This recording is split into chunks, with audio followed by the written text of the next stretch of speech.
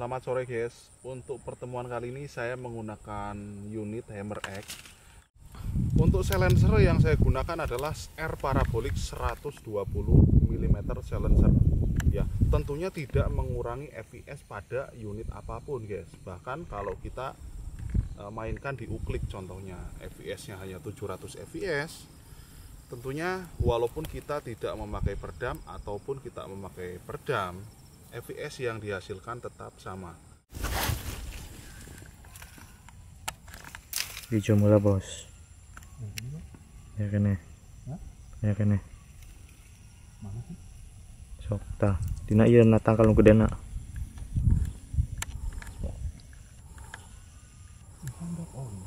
Hmm, kertidis.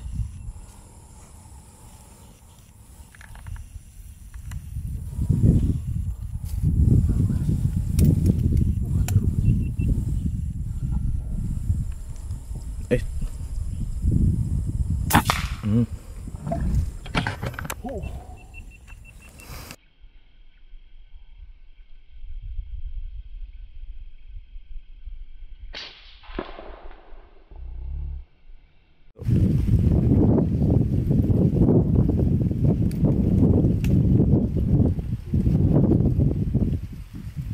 Burung koak guys. Kenal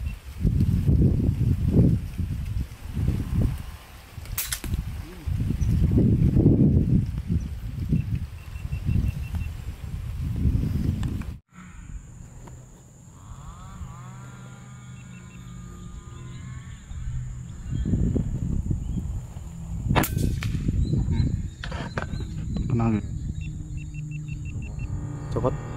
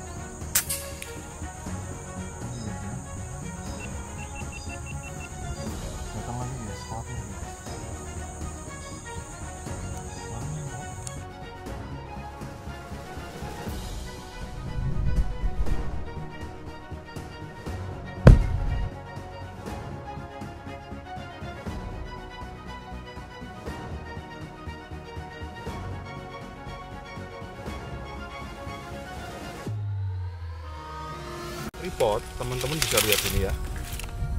Saya menggunakan tripod Ruper 66 yang sudah saya modifikasi sedemikian rupa.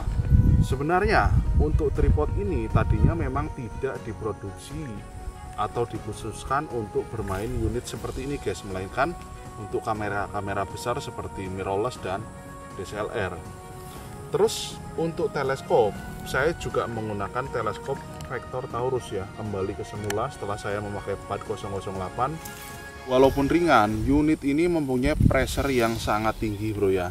Karena didukung dengan tabung yang mumpuni tentunya. Kemudian di sini saya menggunakan knockdown system supaya menjaga kesetabilan di spring bro ya agar tidak selalu main. Setelah kita tidak menembak unit saya taruh lama contohnya adalah satu, satu minggu dua minggu dan bahkan seterusnya kita buang anginnya ya. Otomatis angin di dalam chamber atau di regulator akan ikut terbuang cuma di botol tidak ya. Supaya saya mem- memaksimalkan fungsi di spring agar tetap maksimal dan pistonnya tentunya. Seperti itu guys ya. Oke kita lanjut lagi. Oke guys, di depan itu ada biawak. Ya, itu jaraknya 120 meter guys. Ya, saya coba dari sini ya. Siapa tahu kena. Biawak 120 meter di pohon. Kita coba kepala. Oh, nggak kena guys. Kita coba sekali lagi. Saya atur sudut kemiringannya. Nah, ini.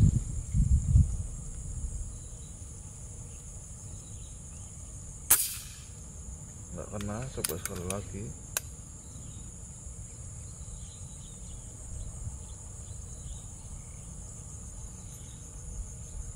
Kayaknya terlalu nganan ya coba ya saya set kiri ya. Wah itu guys. Kena ya. Coba saya shoot lagi guys.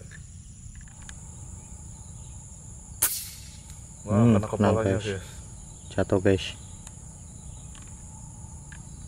jauh sini 120 ya Jauh ini guys. Ini Mari kita lihat.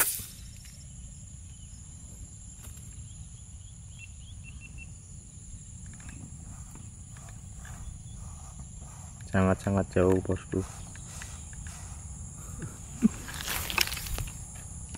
120 meter di pohon ya. Menurut saya pribadi, guys ya, tripod ini sangat fungsional sekali. Karena kenapa saya bisa berkata demikian? Karena ya memang seperti itu adanya, guys. Dengan lokasi-lokasi yang banyak ilalang yang tidak bisa kita tebak, kadang tinggi, kadang pendek, ya. Oleh sebab itu, ya memang sudah wajib kalau kita suka sanggung seperti ini kita butuh tripod yang memang benar-benar bisa fungsional. Contohnya bisa tinggi sekali bisa standar dan sangat pendek sekali. Ya. Dan saya menggunakan untuk side cam eh, saya gunakan Mazda berseris ya. Ini punya eh, orang Eropa sana. Mazda ber Air Touch Hunting terus sama Air Hunter. Dia pakai ini bro. Ya seperti itu. Oke kita lanjut Untuk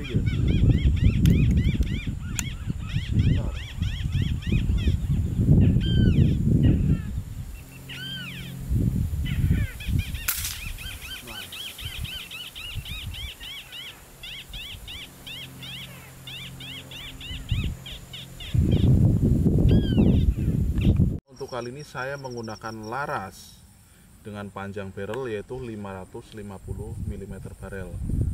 Kemudian untuk laras ini saya namai serinya adalah Air Parabolic Heavy Liner dengan twist rate 1 dibanding 22 ya dengan alur 6 ataupun gonal.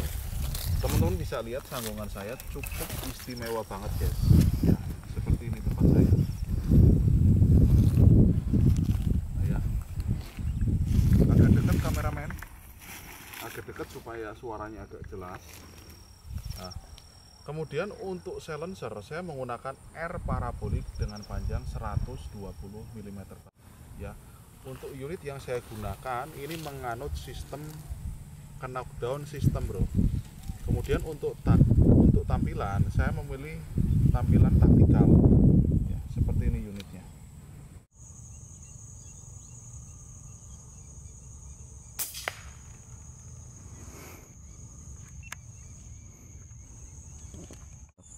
Oke guys, ini tadi padahal saya shot deket banget bro. Cuman gagal fokus, jadi kamera GoPro belum nyala. Terus yang kemudian untuk kamera DSLR-nya harusnya shoot yang ke yang atas dia syutingnya. Cuman yang disorot yang bawah gitu. Padahal kena barusan jatuh ya. Nanti kita ambil lah. Cuman ada salah salah koreksi lah antara kameramen sama saya. Saya GoPro-nya mati, kameran pun kameramen pun sorotnya yang bagian bawahnya harusnya yang atas ya kok tadi ya? Iya, nah gitu. Karena bertiga. oke guys mungkin saya akhiri dulu pertemuan kali ini ya. Di hari ini saya full day dari pagi sampai sore. Jadi saya akhiri dan bakalan saya lanjut nanti menggunakan AFC eh, high speed, medium speed dan low speed ya. Tapi nanti saya bakalan setting untuk low speed. Saya menggunakan 4008S jadi teman-teman tetap tonton. Kita lanjut malam harinya. Mantap